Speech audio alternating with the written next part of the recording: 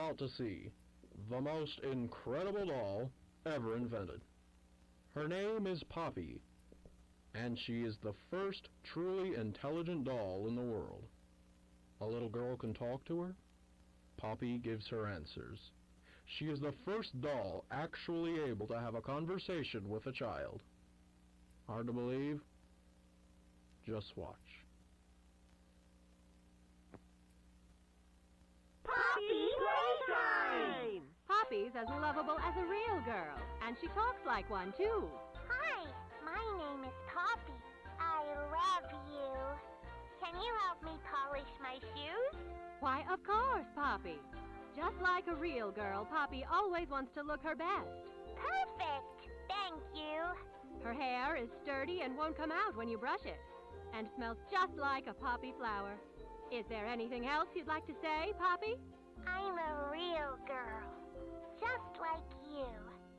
What's the time? Playtime!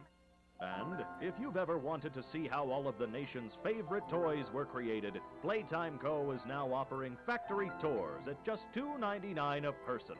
An entire hour in the most magical toy factory on Earth. What are you waiting for? Come visit the factory. We can't.